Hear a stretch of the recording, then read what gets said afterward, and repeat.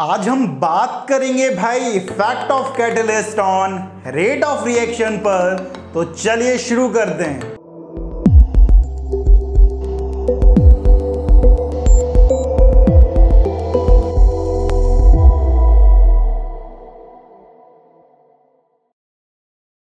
Effect of catalyst on rate of reaction catalyst alter the rate of reaction by changing activation energy catalyst जो होता है भाई, वो आपकी रेट ऑफ़ रिएक्शन को ऑल्टर करता है। ऑल्टर का मतलब क्या बढ़ा भी सकता है और कम भी कर सकता है।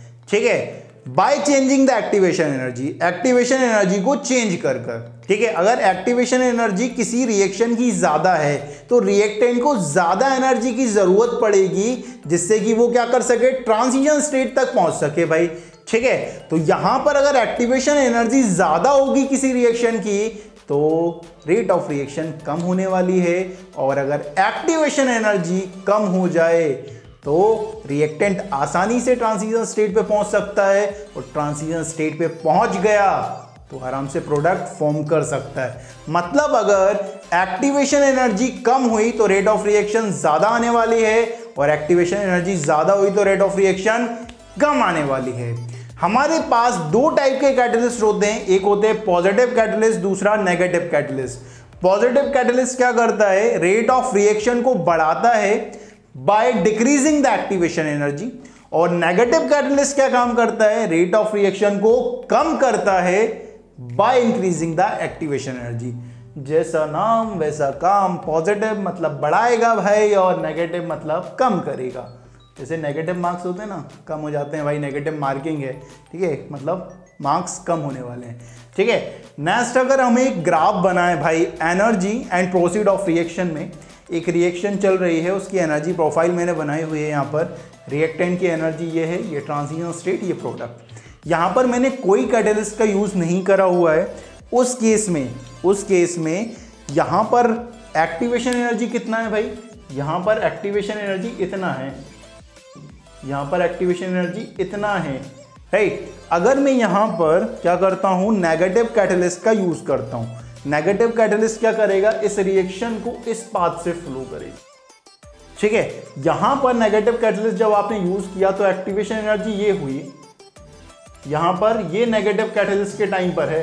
ये नेगेटिव कैटलिस्ट के टाइम पर है। नेगेटिव कैटलिस्ट ने क्या किया? एक्टिवेशन एनर्जी को बढ़ा दिया। एक्टिवेशन एनर्जी बढ़ गई तो रेट ऑफ़ रिएक्शन अपने आप कम हो गई। वहीं आप अगर पॉजिटिव कैटलिस्ट डालते हो रिएक्शन में तो पॉजिटिव कैटलिस्ट क्या करता है? रेट ऑफ़ रिएक्शन को बढ़ाता है बाय डिक्रीजिंग एक्टिवेशन एनर्जी तो पॉजिटिव कैटलिस्ट इस रिएक्शन को कुछ इस तरह से लेके जाएगा। यहाँ पर पॉजिटिव के केस में ये एक्टिवेशन एनर्जी ये पॉजिटिव के केस में।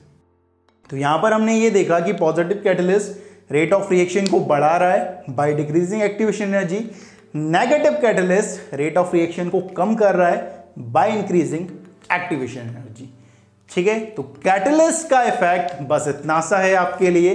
तो जल्दी से ले लो इसका स्क्रीनशॉट फिर आगे बात करते हैं।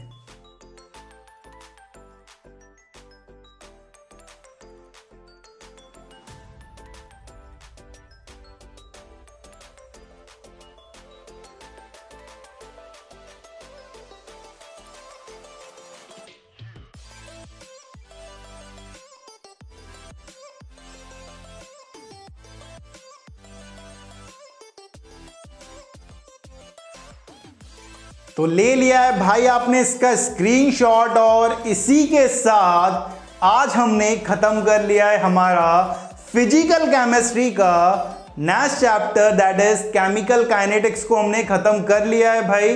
ठीक है?